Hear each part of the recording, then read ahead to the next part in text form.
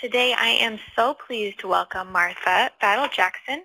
She is the Chief Curator of the Division of State Historic Sites and Properties in North Carolina, and she's kindly agreed to share with us a case study featuring the Thomas Wolfe Memorial and how this cultural institution recovered after a devastating fire. Martha, thank you so much for joining us. Would you mind sharing a little bit about yourself with our audience today? Okay. Um, Jenny, at the time of the fire, I was registrar for the North Carolina Division of State Historic Sites. Uh, we managed 24 sites across the state. Julie Bledsoe, now Thomas, was the curator for the Western region, and we were actually wrapping up an inventory of the artifacts in the boarding house, which is also called Old Kentucky Home. Uh, because we were preparing to remove all the artifacts and store them while the house had intrusion and smoke alarms installed along with other repairs. So I, I spent the next six years of my life uh, tracking and photographing the artifacts, helping arrange for conservation, updating records, and coordinating the reinstallation of the artifacts in the house um, until it reopened to the public in late May 2004. Great, thank you, Martha. So before I hand things completely over to you, I just wanted to ask two poll questions from our audience just to get a better sense of where you're coming from. So here's our basic question. What type of institution are you coming from today? And we know we can't cover them all. So uh, if you're other, feel free to share in the chat box where you're coming from. And then our, our second question here is just have you also experienced at your institution a disaster or an emer emergency such as a fire? Yes or no? And then of course in the chat box, feel free to, to explain your situation or share your story with the other participants. Uh, like webinars in the past, uh, we'll use these poll questions as our door prize. So we'll pull two names at random of people who've answered the question, and you guys will win a fantastic resource from our bookshelf. But I do have to say, you have to be a member of the online community so that I, so that I can find your email. So it looks like you guys are coming from all over the place, and fortunately most of you, 72%, say no, you haven't experienced a disaster, which is great, but seven of you have. So let me get rid of these. And Martha, I'm going to pull your PowerPoint over and then I'll hand things over to you. Okay. Um, while she's doing that, I, I, do want to thank a couple of people for uh, helping me with images. Uh, Sarah Beth Lee at the Thomas Wolfe Memorial and also Mar uh, Marlene Minshew at the North Carolina Transportation Museum. Um, just to give you a little bit of background, Thomas Clayton Moore, excuse me, Thomas Clayton Wolfe was born in Asheville, North Carolina on October 3rd, 1900.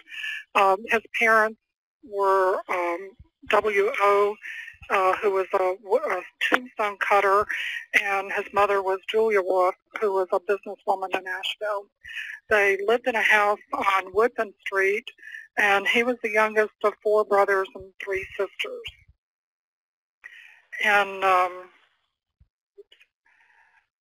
in 1906, Julia bought an 18-room boarding house that was a couple of blocks away, and she ended up moving into the house, and she took Tom with her. At the time, he was about six years old. Um, in 1916, she added 16 more rooms to the house for a total of 29 rooms. Tom didn't have a room of his own, so he kind of wandered around and uh, slept wherever he could find a bed uh, as you can see, he's surrounded by this, these lovely ladies. Um, he was quite brilliant and went on to um, uh, go to the University of North Carolina in Chapel Hill at the age of 15. As you can see, he's rather easy to spot. He was 6'6", so he's a very tall person. Um, he was very involved in the Carolina Playmakers Theater on campus. Here he is shown playing uh, in the play Buck Gavin. We went on to the Harvard Graduate School after graduation, graduating from Carolina and majored in playwriting. Uh, during that time, his father died.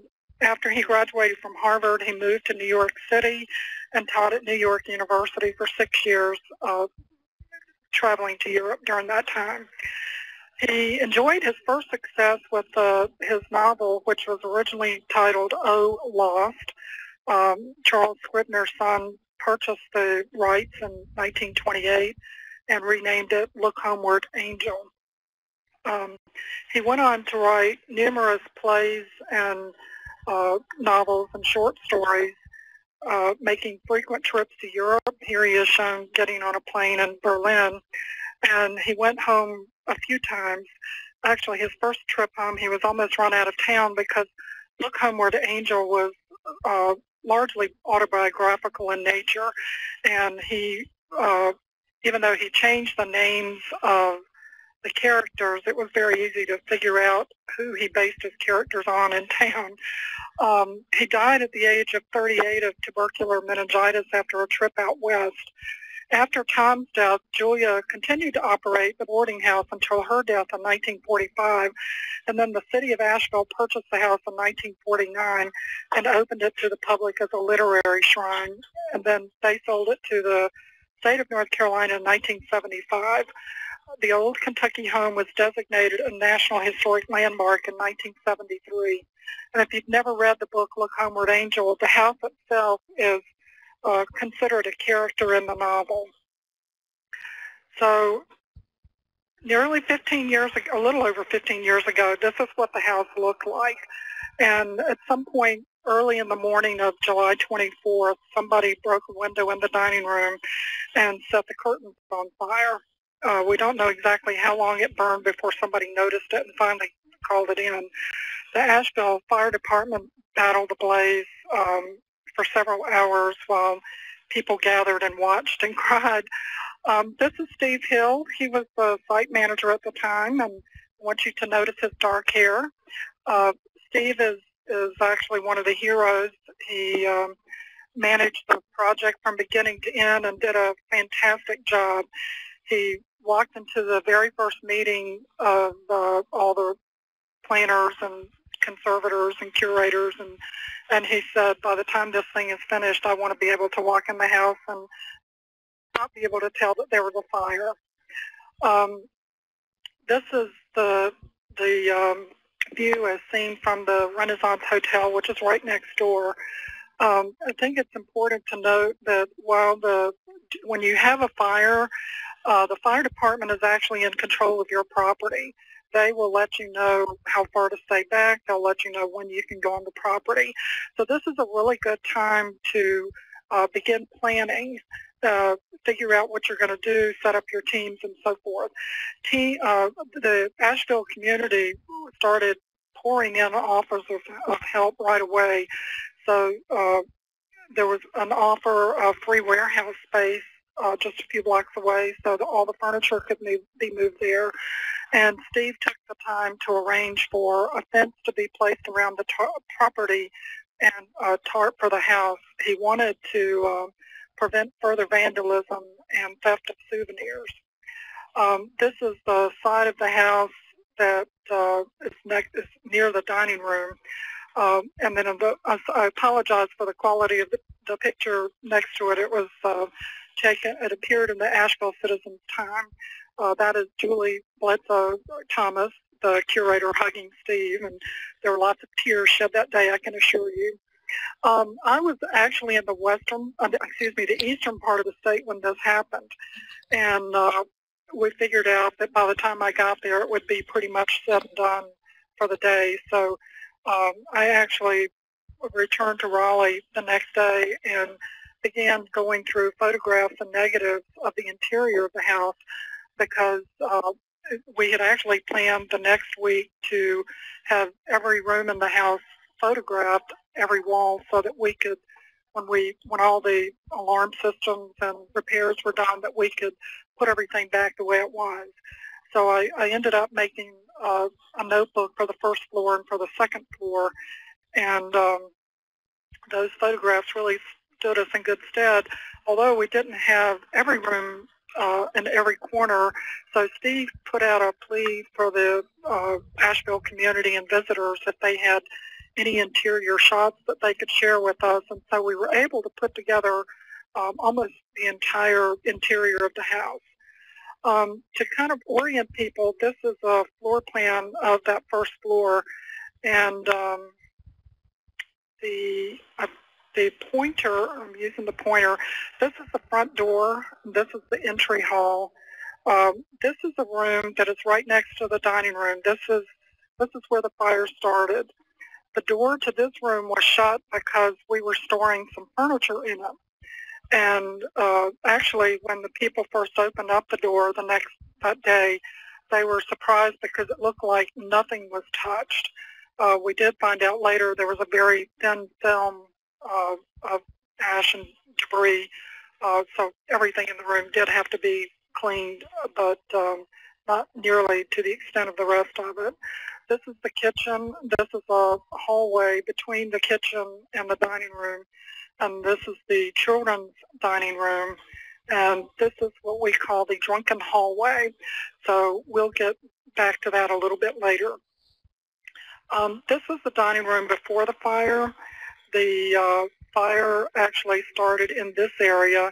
This is a sideboard that was close to the, the room, to the uh, point of origin. This is the dining room after the fire. And again, this is the, the area that started out. There's a huge hole here.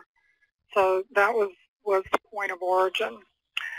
The, um, as you can see, that's a better shot of the hole. The, this is the dining room shortly after it was cleaned up.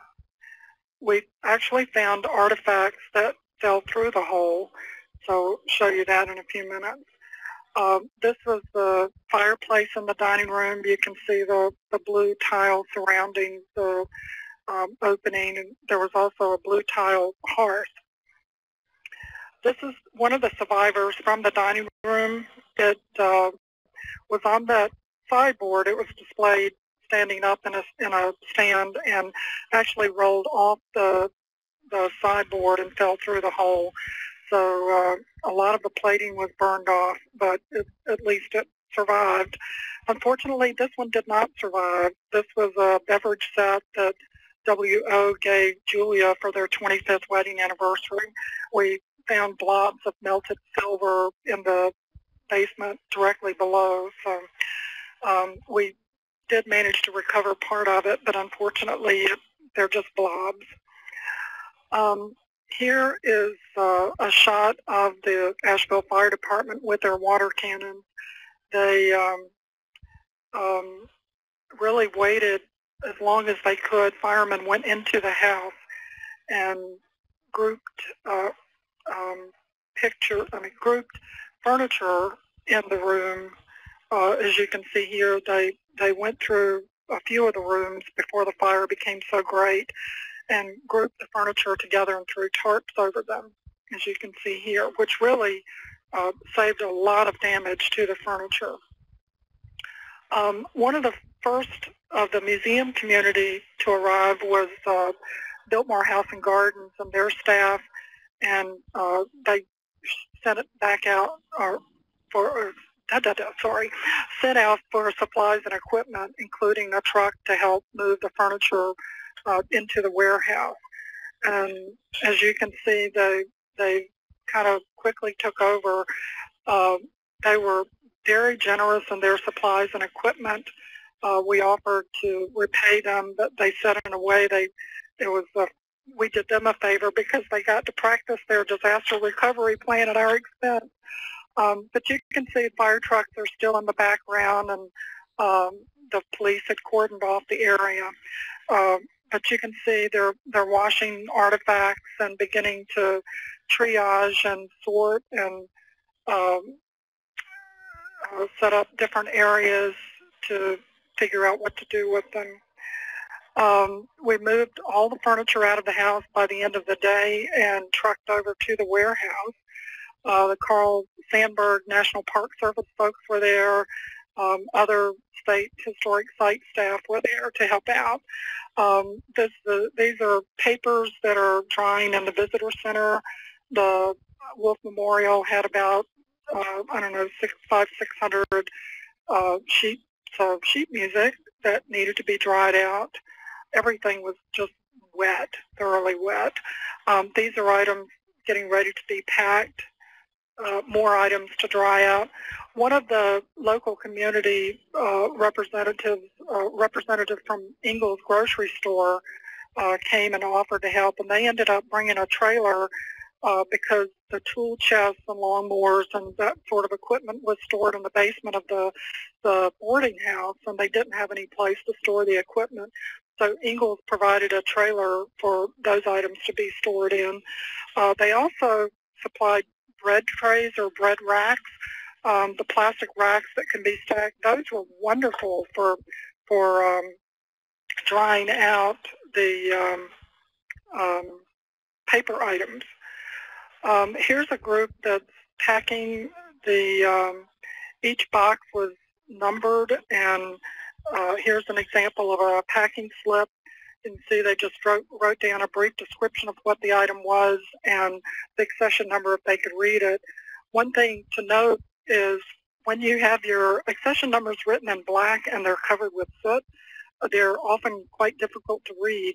We also found that a lot of the numbers just popped off um, or burned off or slid off or anyway, we had a dickens of a time trying to match things up, but fortunately we had the um, inventory that Julie and I had finished and we produced a printout, so we slowly but surely were able to match things up.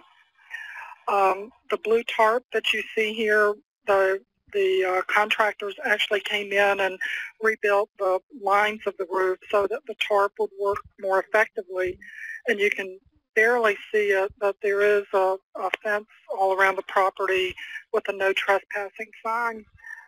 Um, Steve did hire overnight security uh, to keep people away, and they made a few arrests from what I understand.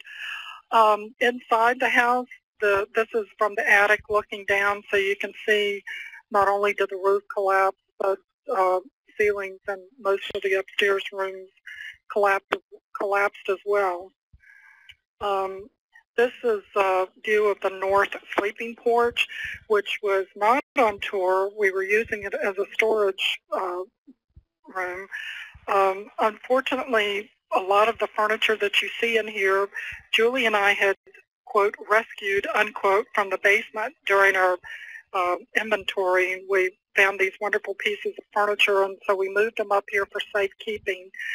So um, we we were both devastated by that, but life goes on. Uh, this is the porch, same porch after we restored it. Um, and again, most of this is original furnishings, um, although the textiles we were um, acquired later. Um, the birthing bed, this is a suite of furniture known as cottage furniture that um, was originally in the Woodfin Street home owned by the family. And all of the Wolfe children were born in this bed. At some point in the 1950s, it was painted over with a, a light green latex paint.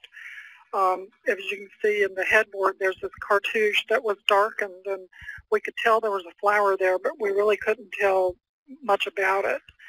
Um, this bed, this is the bed shortly after the fire. You can see the, the roof caved in on it, and actually one of the legs was burned rather badly and had to be replaced.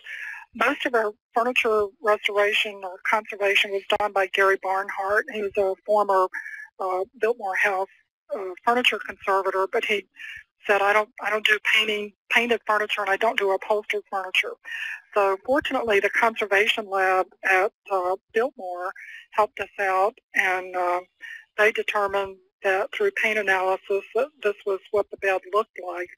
And later, a woman showed up and had pictures of a similar set, and yes, indeed, it, they did a fantastic job.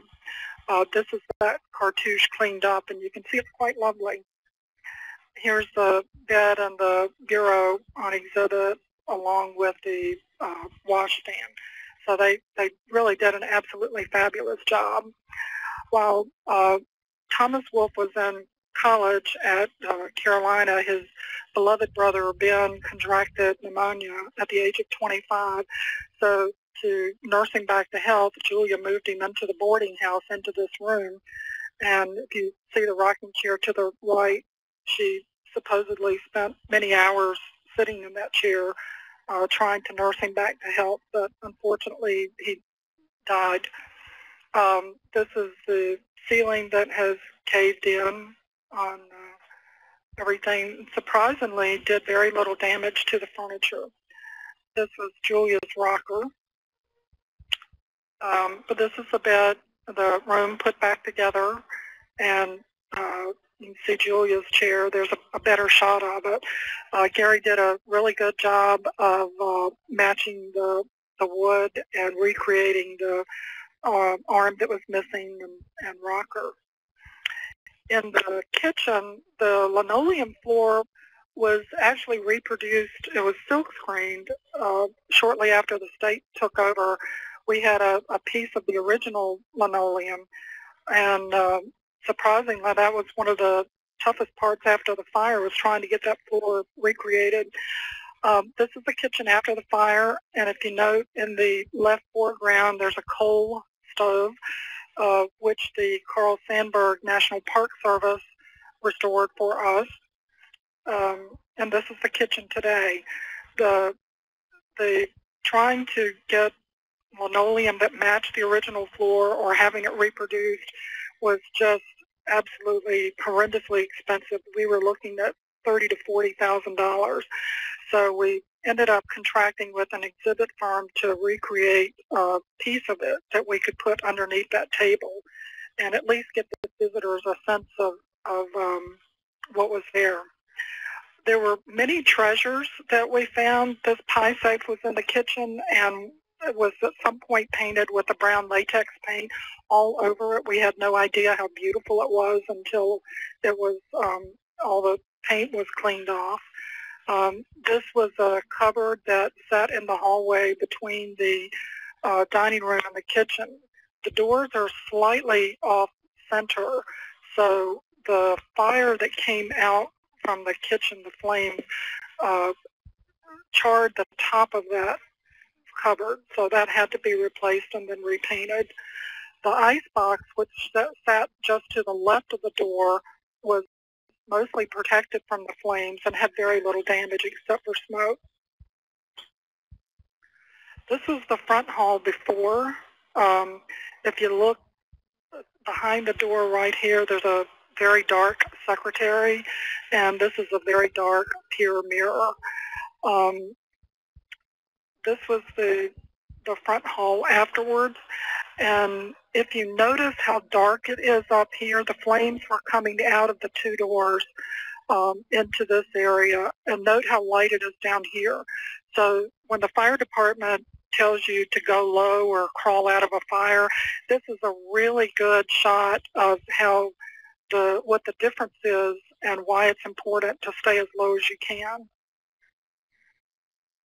Um, the other interesting thing that we found out about the fire was sometimes when the flames are very intense, it creates almost a tornadic effect.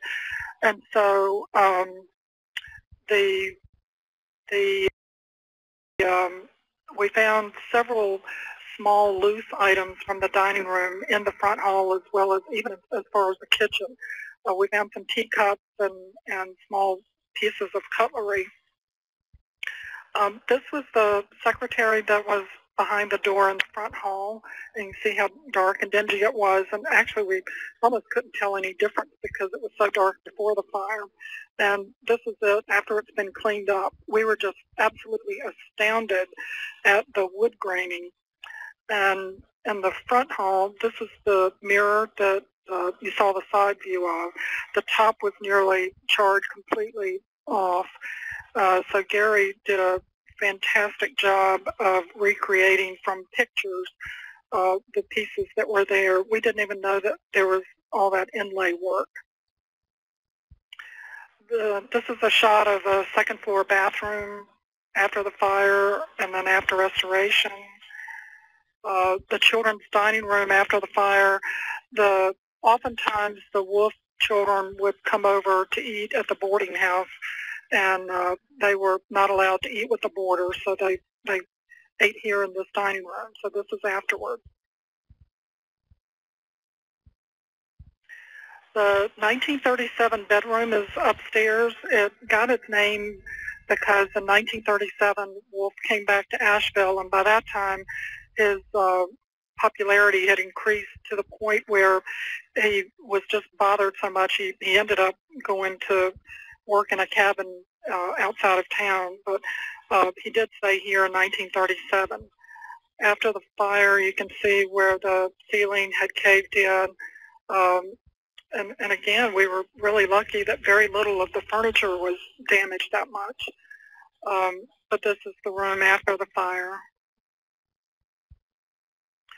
Uh, this bedroom is the room that's farthest away from the dining room, and you can see just how black it was. Apparently the smoke was, uh, because the house was added to onto a couple of times, uh, this, it was really difficult for the firefighters.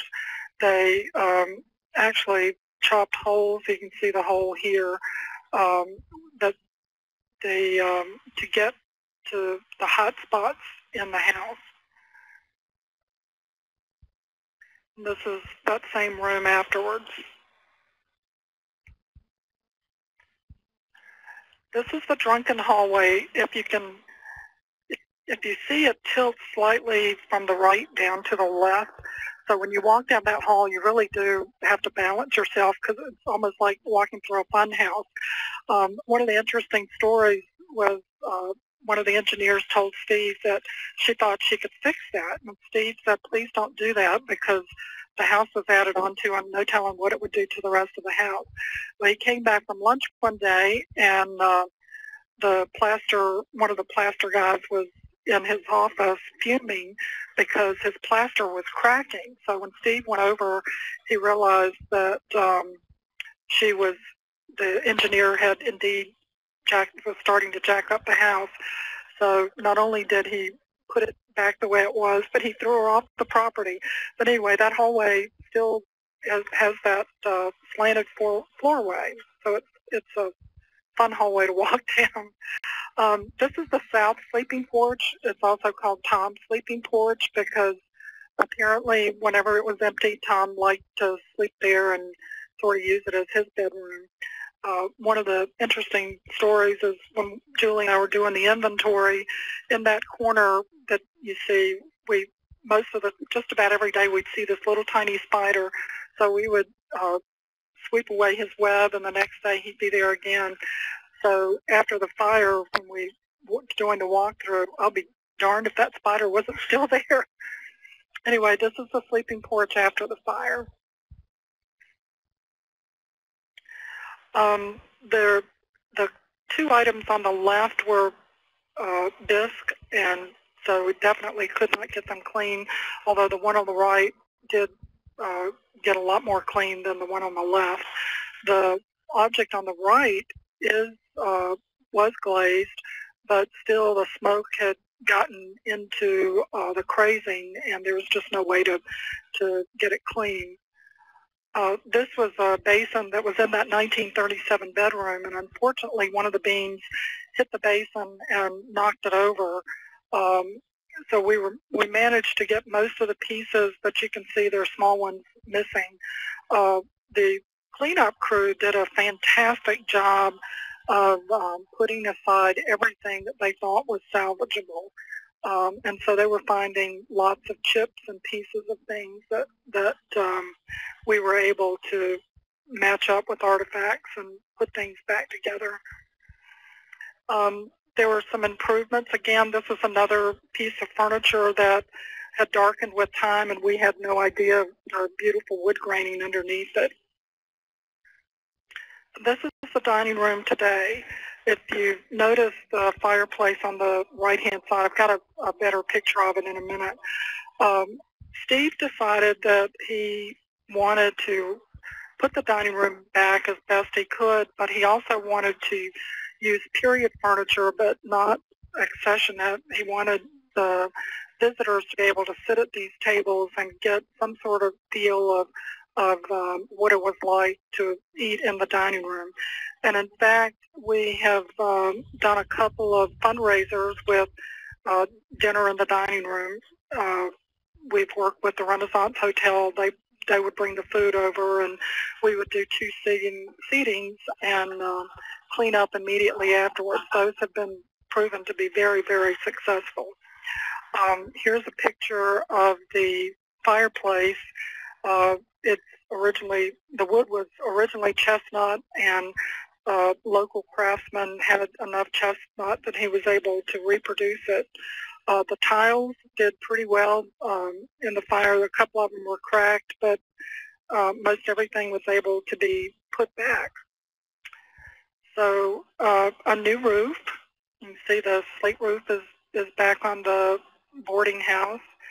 And a new coat of paint. We were actually doing paint analysis at the time of the fire and discovered that this was the color that uh, Wolfe described in his book. He uh, thought it was a hideous color, and it, I have to admit it, it's kind of grown on me, but it was a little jarring to go from white to a, a brilliant yellow like this. Um, you, you can go home again. This is the, the front of the house. And this is Steve Hill, just before he retired. You can see he now has gray hair, um, and he's, he's earned every single one of them. But uh, he did a fantastic job of, of um, getting what he wanted, and the house looks great today. So lessons learned. Uh, be prepared. At the time of the fire, none of our sites had a disaster preparedness plan. Uh, we put together a boilerplate version and um, distributed it to all the sites and worked with them so that they could tailor uh, tailor it to their needs and specifications. Some of the things in the disaster plan include floor plans, uh, noting where the the uh, locations of pull stations and fire extinguishers, being a state agency, we have lots of forms that we have to fill out. So this is one from the State Bureau of Investigation.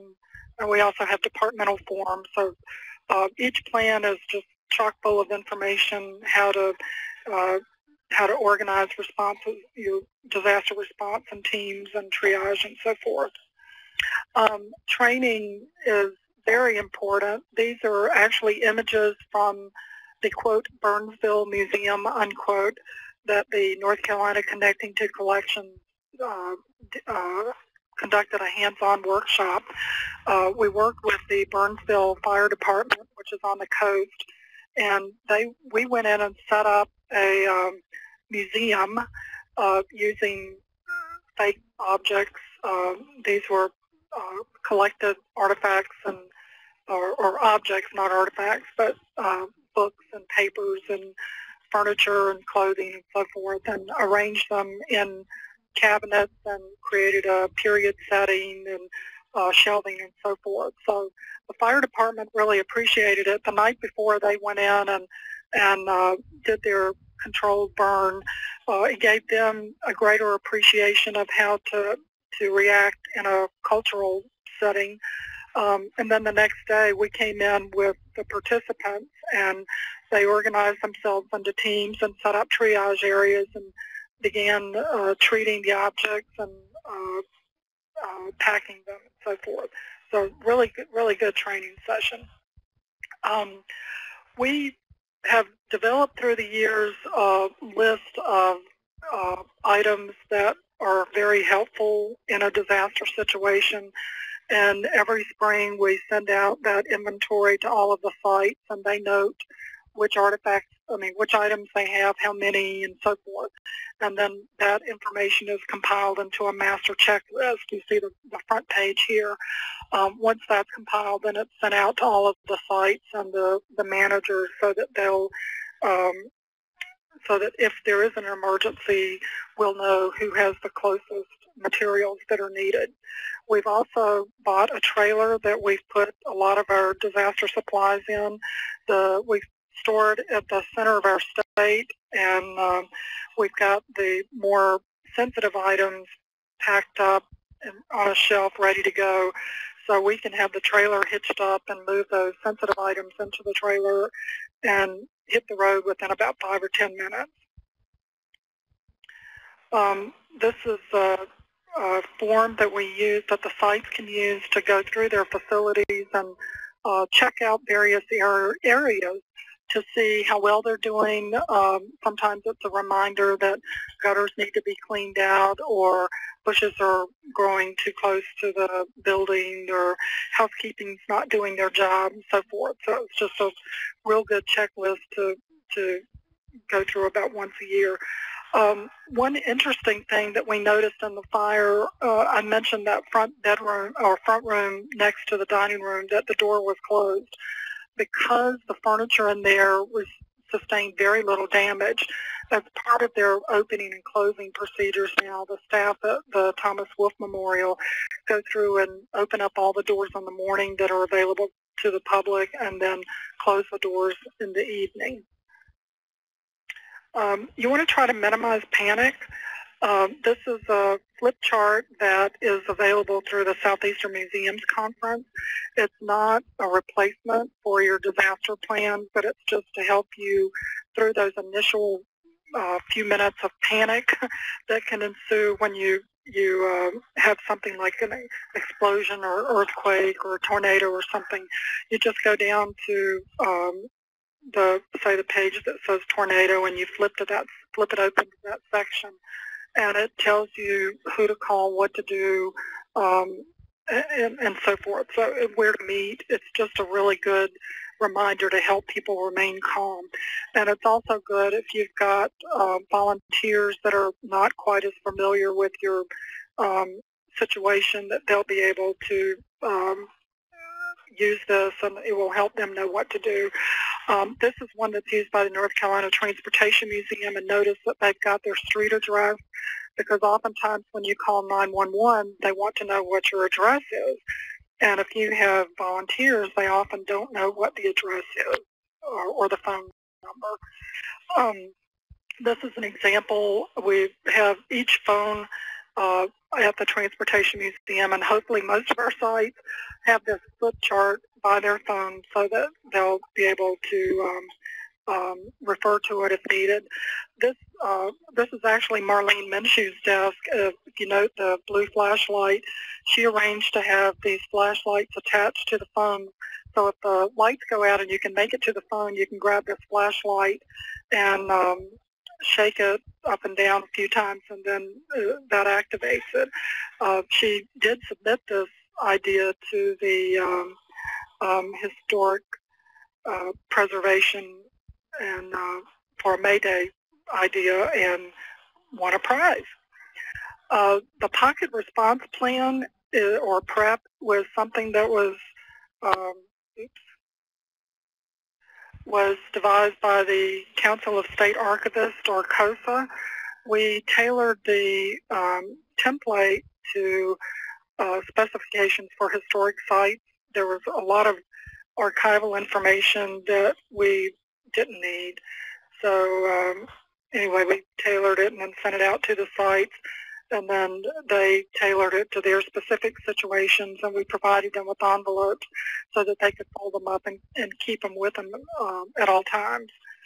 Um, the other other two tools that are really good, um, the Field Guide to Emergency Response that is provide you can get that through Heritage Preservation as well as the salvage wheel. All of our sites have the salvage wheel and we have several copies of the field guide that uh, periodically sites can look at the DVD and just re review um, um, some uh, specific situations. But it's a really good tool to help you get organized um, if you don't have a disaster response. Um, one other thing to consider is your insurance coverage. The, as a state institution, the Department of Insurance insured the house, and um, they they wanted to uh, put the house back together as cheaply as possible. So they were insisting that we replace the slate roof with a um, asphalt roof, and that was one of the battles that Steve won, um, and also uh, the plaster walls they wanted to replace with sheetrock. So that was a, a tough row to hold, uh, hoe, and it actually put us behind schedule for a couple of years while we were fighting those value battles. Um, another thing to keep in mind is uh, the fine arts insurance.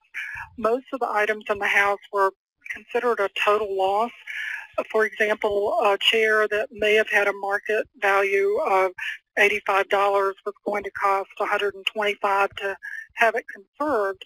So um, in that case, it's a total loss. The insurance company will pay you the $85, um, but they also have rights of salvage. So if they pay for that chair, they can take it from you. Uh, uh, fortunately, in our case, the insurance company was very much aware that um, the items in the house were original to the house, so they decided to leave the salvage with us. Um, establishing networks is a good idea.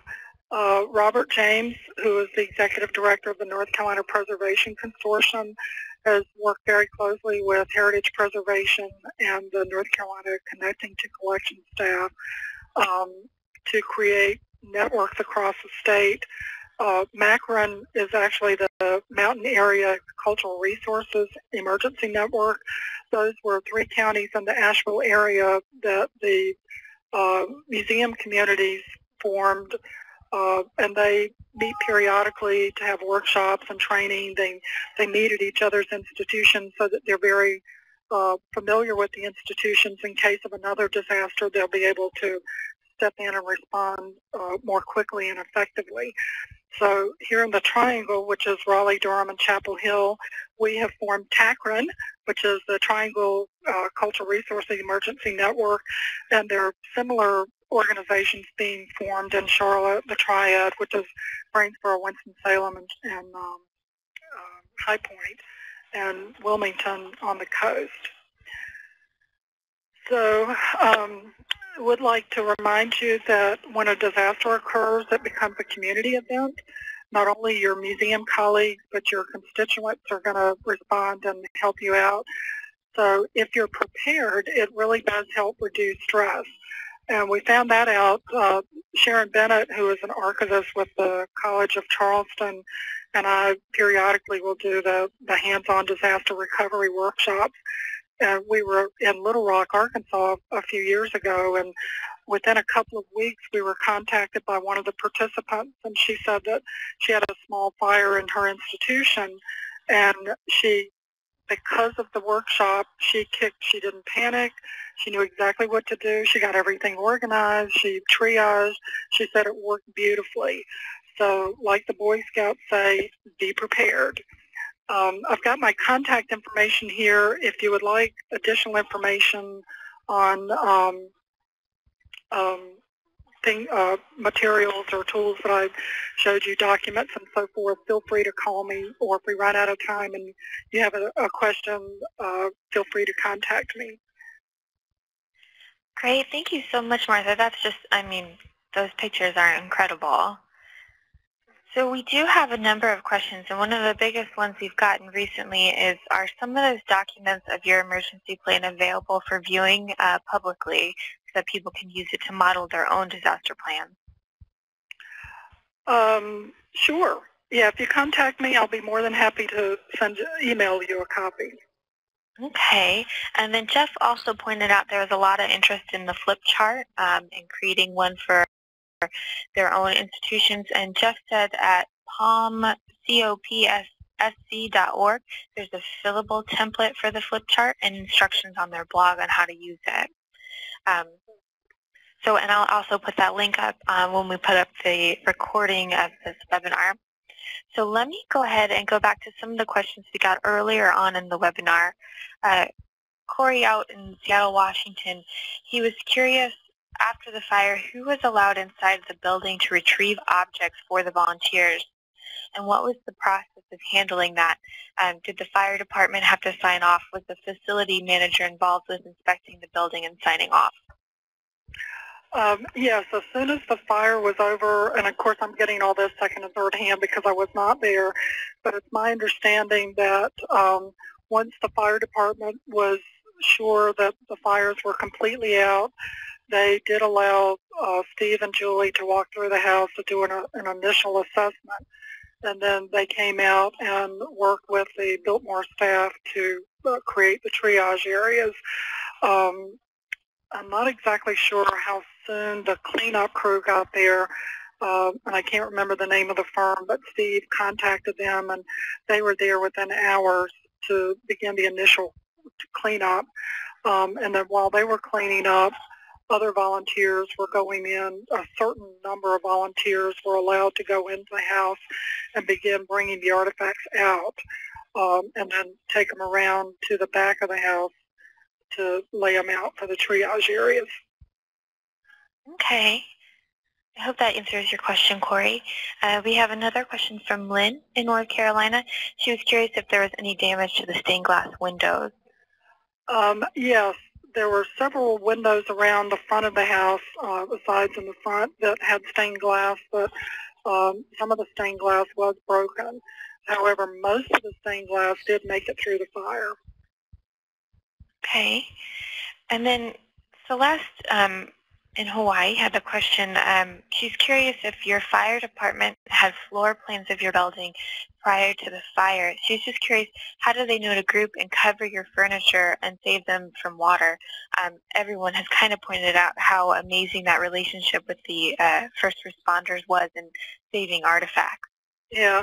Um, not only is Steve Hill an Asheville native, he knew most of the Raleigh, I mean the Asheville firefighters, and um, so they they were they most of them grew up in Asheville and had visited the house, so they were familiar with the house and knew exactly what to do. Um, as a matter of fact, the fire chief later told Steve that if it had been any other house in Asheville with similar damage, they they would have just let it burn because the fire was so great when they got there. But they they all knew how important the house was not only to the community but to the nation and the literary world. And so they, they really did everything they could to save the house. Um, that it's a good idea to let the firemen become familiar with your organization. I know when Sharon Bennett was at the Charleston Museum, they would invite firefighter or the chiefs uh, to their openings uh, whenever they had a new exhibit. They wanted the firefighters to become familiar with uh, the floor plans, especially if they change the floor plans with various exhibits. So it, um, the it's it's really good to have a, a, a good working relationship with your local fire department. Uh, definitely, and um, in a few of the courses, many of you may have taken some of them um, earlier this year on uh, creating a disaster response plan with Julie Page and also a risk evaluation course with um, Alex Allard. Um, we also talk about that as well, of creating these, these strong bonds with first responders. And as um, Martha shows, it, it's kind of, it, it saved a lot of artifacts. Um, Celeste had a follow-up question for you, Martha. Uh, she's curious, you know, this was a, a, long road to recovery, and she's curious on where some of the funding came from to do these uh, recovery activities. Yeah, we, um, of course, quickly exhausted our insurance funding, um, which only covered about half of what we needed, or maybe three-fourths. The uh, public was amazing in their donations. Steve Hill uh, spoke to several groups. Um, um, I can't think of the writer's name, but uh, a writer came and did several fundraisers for the the um, site. Um, because of the publicity all across the nation, people would just send money. I remember one time when I was there, Steve came out of his office holding a check, and he had, he had just gotten a check for $5,000 from somebody in California. So it was, it was mostly the public that stepped up um, and made donations uh, along with several fundraisers. Wow. Um, and we also just had Dan um, weigh in in Ohio. We have um, our emergency response um, view. Uh, he works for the fire division in Upper Arlington, Ohio, and he's saying um, it's often common or it's common practice for firefighters to group furniture and other large object, objects into one um, spot, opening up space. So good to know. Um, we have actually, before I get to the next question, let me go ahead and pull over a survey. Um, we have uh, a little over five minutes left, so let me pull this out. So this is just a, a, a quick evaluation on the webinar. We'd love your feedback, and we also love ideas. Um, if you have ideas on future webinars that we can do or potential speakers, we love to hear about that. Um, we have a question from Marcia um, in Northern California. California. She's curious um, if you would recommend emotional triage as part of a disaster response plan. I think it's something to certainly be aware of. Uh, Julie joked that she was a zombie for the first few hours, uh, but I, I don't think that was the case. It was uh, once you, people respond differently to uh, disasters. There are some people who um, they can't comprehend what's going on, and so the best thing to do is just find them a job and, and sit them over to the side. Uh, there's some people who run around like chickens with their heads cut off. So, um, you know, I think you just have to uh, figure out how a person is responding and find a job for them to do that's appropriate for their emotional response. Um, I know for, for weeks and months afterwards, we couldn't look at film footage uh, that a local TV station had shot um, without just breaking down and crying. It was uh, it was very emotional to um, to go through that process. The the day of, I think it helped to have folks from Biltmore there because um, as various Wolfe staff would start to go to pieces, they were a little more removed from it, and they could they could commiserate with them or just say, okay, I understand, but I really need to know the answer to this question. So that would uh, you know, having somebody who can calm you down and uh, and and help with the decision-making process is a, is good. And did that um, that experience inform what you did next when you started creating these disaster response plans? How did you incorporate that into these these these planning documents? Um, we actually have not done it as well as I would like. Um, we, in uh, next year have some plans to revisit all of our disaster plans uh, because I think we need to do a better job of responding. Um, we did have another fire at another one of our sites and uh, I think it's a good idea when you experience a disaster to go back to your plan and review it and see what works and what doesn't work and update the plan accordingly. Okay. And then I just kind of have a question. It sounds like initially after the fire you had an outpouring of help in the community. How did you organize all these people? Um, you know, how did you assign them jobs? How did you, you know, that's a lot of people to deal with after a really devastating event. How did you guys go about organizing that help? Well, that's where the, the Wolfe staff, um, they kept track of, of the volunteers. Um, that's one of the reasons why Steve put a fence around the house because there were so many people who wanted to help. And so they took names and telephone numbers and I'm not sure if they called anybody or not because after all of the artifacts were out of the house and in a warehouse, then it was really up to the collection staff to go through and, and um, figure out what conservation needs were and so forth. Um, we were making notes on the printout, uh, talking with conservators to figure out how much it was going to cost for each of the artifacts. And then we were able to turn over that information to the insurance company. And we actually settled with the insurance company as far as the artifacts within about three and a half months, which was pretty good considering the number of artifacts and the amount of damage. But um, for the most part, I think the best thing to do is if you have too many volunteers, they can get in the way. So uh, take their name and telephone number and just politely let them know that you'll call when they're needed. Um, and it's also good because uh, you can contact them later and ask if they could help out with donations as well. Uh, I think several volunteers, um, or I think the Wolfe House ended up getting several volunteers from the, the help that was offered. Oh, fantastic. And great advice, too. I just, I have one more question. Um, and if the audience members have any more questions, feel free to type them in. Um, I would love you to speak a little bit about um, your experience with dealing with the media. I imagine there was a swarm, and of course there's always the concern of saying too much or too little. Can you speak a little bit about um, your experience when you guys were approached by the media on this particular topic?